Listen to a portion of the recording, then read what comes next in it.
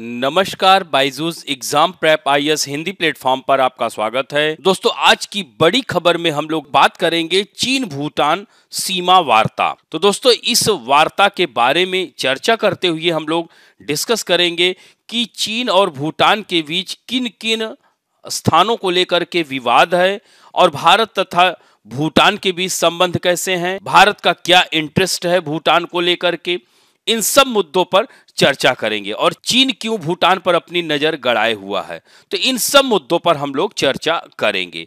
तो यहाँ पर आप देख सकते हैं कि China, Bhutan agree to move forward on road map for their boundary talk the three step road map has still not been made public तो talk between China and Bhutan since 1984 यानी उन्नीस सौ चौरासी से यह वार्ता चली आ रही है।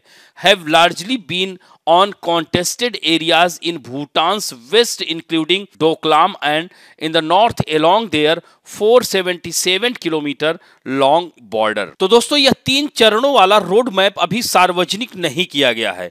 1984 से, उन्नीस के बाद से चीन और भूटान के बीच बातचीत, मुख्य रूप से भूटान के पश्चिम में डोकलाम सहित और उत्तर में उनकी 477 किलोमीटर लंबी सीमा पर विवादित क्षेत्रों पर रही है। दोस्तों, अपनी सीमा वार्ताओं को तेज करने के लिए तीन चरणीय रोड मैप पर एक समझौता ज्ञापन पर हस्ताक्षर करने के पंद्रह महीने बाद चीन और भूटान ने घोषणा की है कि सभी चरणों के कार्यान्वयन को एक साथ आगे बढ़ाने के लिए एक सकारात्मक सहमति पर पहुँच गया है यह रोड मैप तो दोस्तों, यहाँ पर बात ध्यान देने वाली है कि यह जो खबर है कि चीन और भूटान सीमा विवाद को सुलझाने के लिए बातचीत में तेज़ी लाने पर दोनों देश सहमत हो गए हैं। और दोस्तों, दोनों देशों पर संयुक्त बयान के अनुसार चीन भूटान सीमा मुद्दे पर ग्यारहवीं विशेषज्ञ समूह, जिसे ईजीएम कहेंगे, चीन के कुनमिंग शहर में 10 से 13 जनवरी तक आयोजित की गई थी। तो दोस्तों, यहाँ पर आप लोग देख सकते हैं कि भूटान और चीन के बीच जो विवाद के बिंदु हैं, जैसे कि यह डोकलाम 2017 में यह चर्चा में आया। इसी तरह से यहाँ पर देख सकते हैं जकारलुंग इसी तरह से आप लोग देख सकते हैं पासमलुंग और संगतेंग वन्य जीव अभ्यारण तो दोस्तों, भूटान और चीन के बीच की जो सीमा रेखा है 400 किलोमीटर। यानी भूटान चीन के साथ 400 किलोमीटर से अधिक लंबी सीमा साझा करता है। Bhutan share and over 400 kilometre long border with China. दोस्तों, डोकलाम। यहाँ पर आप लोग देख सकते हैं कि डोकलाम चीन भूटान के उत्तर घाटियों में।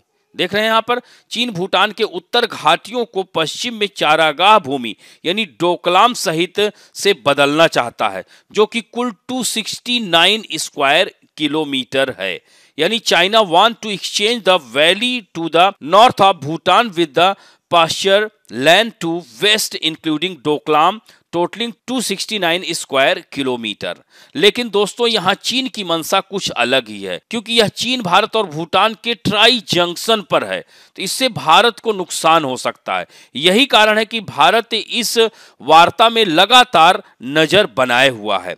दोस्तों, इसी तरह से जकारलुंग की बात की जाए तो जकारलुंग एंड पासमलुंग तो जकारलुंग एंड पासमलुंग वैली है, यह located near Tibet to Bhutan north which measures 495 square kilometre तो दोस्तों, यह जो दोनों घाटियाँ हैं, भूटान के उत्तर में तिब्बत के पास स्थित हैं, जो कि 495 स्क्वायर किलोमीटर क्षेत्र में फैली हुई हैं। इस पर वो अपना अधिकार चाहता है चीन। यही इन मुद्दों को लेकर के विवाद है। इसी तरह से संगतिंग वन्य जीव अभ्यारण परियोजना, जो कि China claim this area in eastern Bhutan as its north. ये जो यहाँ पर आप देख सकते हैं, चाइना यहाँ पर क्लेम करना चाह रहा है, जबकि यह अरुणाचल प्रदेश के सटा हुआ है। तो यहाँ पर कहीं ना कहीं देखा जाए तो चीन जो है, भूटान के माध्यम से भारत को घेरने की कोशिश में है। तो दोस्तों, चीन के द्वारा भूटान की पूर्वी सीमा पर अपनी दावेदारी पेश की गई। आश्चर्यजनक बात यह है कि भूटान की पूर्वी सीमा किसी भी प्रकार से चीन के साथ सीमा साझा नहीं करती।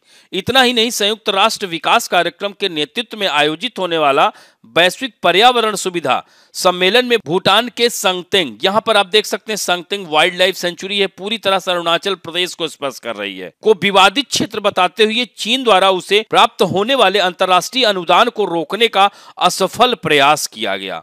दोस्तों, संगतिंग वन्य जीव अभ्यारण जो है, इसकी स्थापना 2003 में की गई थी और यह उत्तर और पूर्वी दिशा में अरुणाचल प्रदेश के साथ सीमा साझा करता है। सोचिए और यहाँ पर चीन अपना अधिकार जताना चाहता है। तो इस तरह से आप देख सकते हैं कि ये ब्रीफ ओवरव्यू आप boundary dispute between India and Bhutan in points को भी ज़रूर देखिएगा, क्योंकि Bhutan and China have no formal diplomatic relation but have held 24 round of boundary talk between 1984 and 2016 यानी दोनों के बीच राजनयिक संबंध नहीं है, फिर भी दोनों के बीच यह वार्ता, सीमा वार्ता चल रही है। यहाँ पर आप देख सकते हैं सेंगटेंग के लिए मैंने बताया।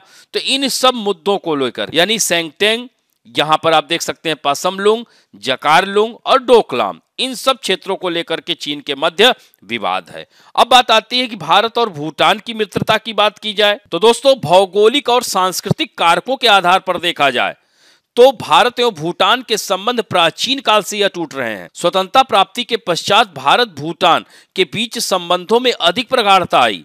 क्योंकि 1949 में दोनों देशों के मध्य मित्रता और सहयोग संधि पर हस्ताक्षर किए गए और इस संधि ने भारत भूटान के मध्य द्विपक्षीय संबंधों की नींव रख दी और इस संधि से भूटान के विदेश संबंधों और उनकी रक्षा दायित्व भारत पर आ गया। और इस संधि को वर्ष 2007 में संशोधित भी किया गया, जिसमें भारत द्वारा भूटान को स्वतंत्र विदेश नीति के निर्धारण के लिए प्रेरित किया गया। और दोस्तों, वर्ष 1968 में भूटान के साथ भारत के राजनयिक संबंधों की शुरुआत हुई और वर्ष 2018 में राजनयिक संबंधों के 50 वर्ष पूर्ण हुए।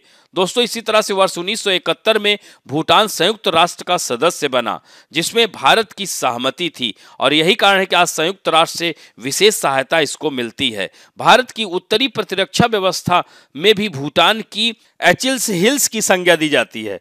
यह भारत की सुरक्षा व्यवस्था के लिहाज से बेहद संवेदनशील क्षेत्र है। तो चुंबी घाटी क्षेत्र, यहाँ पर आप देख सकते हैं, चुंबी घाटी क्षेत्र से चीन की सीमाएँ लगभग 80 मील की दूरी पर है, जबकि भूटान चीन से लगभग 470 किलोमीटर लंबी सीमा साझा करता है। तो दोस्तों यहाँ पर देख सकते हैं कि भूटान का कितना महत्व है भारत के लिए और भारत भूटान के बीच सहयोगात्मक क्षेत्र चाहे पर्यटन का हो शिक्षा एवं छात्रवृत्ति हो हाइड्रो पावर प्रोजेक्ट हो क्षेत्र में स्थिरता तथा आतंकवाद के विरुद्ध कार्रवाई बीबीआईएन बांग्लादेश भूटान इंडिया और नेपाल परियोजना इन सभी क्षेत्रों में भारत भूटान की मद, भारत भूटान दोनों अच्छे सहयोगी हैं। ढेर सारी यहाँ हाइड्रो पावर प्रोजेक्ट यहाँ सिलीगुड़ी कॉरिडोर आप देख सकते हैं डोकलोंग रीजन है, Sikkim, China, Bhutan tri junction के रूप में। इसीलिए इस क्षेत्र में जब भी भूटान और चीन पर वार्ता होती है, भारत पूरी तरह से सचेत रहता है। दोस्तों, भारत आध्यात्मिक कूटनीति के माध्यम से, चूँकि भूटान में जोंग धार्मिक मठों और प्रशासनिक केंद्र के रूप में रहे हैं, ऐसे में दोनों देशों के बीच काफ़ी अच्छे और मधुर संबंध हैं। ऐसे में भूटान पर चीन की यह नज़र, चीन अपने उत्तर पड़ोसी भूटान के साथ संबंधों का औपचारिक रूप देने के लिए उत्सुक है। चीन एकमात्र ऐसा देश है जिसके साथ भूटान का अभी कोई भी औपचारिक संबंध नहीं है। चीन और भूटान के बीच सीमा विवाद भी है। चीन चाहता है कि सीमा विवाद को सुलझाने में भारत की कोई भूमिका ना हो, लेकिन भूटान ने साफ़ कर दिया था कि इस संबंध में जो भी बात होगी, वह भारत की मौजूदगी में होगी। तो भारत और भूटान के बीच हुई ऐतिहासिक संधि चीन को हमेशा खटकती रही है। चीन और भूटान के बीच पश्चिम तथा उत्तर में करीब 470 किलोमीटर लंबी सीमा है तो दूसरी तरफ़ भारत और भूटान की सीमा पूरब और पश्चिम, दक्षिण में 605 किलोमीटर है। इसमें कोई संदेह नहीं कि भूटान में भारतीय सैनिकों की मौजूदगी रही है और भूटान की सेना को भारत प्रशिक्षण देने के साथ अनुदान भी मुहैया कराता है। तो ऐसे में आप देख सकते हैं कि भारत और भूटान के बीच कितनी मित्रता है और भूटान भारत के लिए कितना महत्वपूर्ण है रणनीतिक दृष्टिकोण से। ऐसे में चीन का यह हस्तक्षेप भारत को यहाँ पर पूरी तरह से इस वार्ता में भी ध्यान रखना होगा। दोस्तों, आज के लिए आप लोगों के लिए प्रश्न है कि भूटान को भारत के कौन कौन से राज्य स्पर्श करते हैं? दोस्तों, दूसरा महत्वपूर्ण प्रश्न है कि भारत एवं भूटान के बीच राजनयिक संबंध कब से है? इस तरह से इन दोनों प्रश्नों के उत्तर ज़रूर दीजिएगा। आशा करता हूँ कि आज का भी ये वीडियो आप लोगों को अच्छा लगेगा। यदि अच्छा लगे तो प्लीज़ लाइक, शेयर, सब्सक्राइब और बेल आइकन दबाना ना भूलें। धन्यवाद।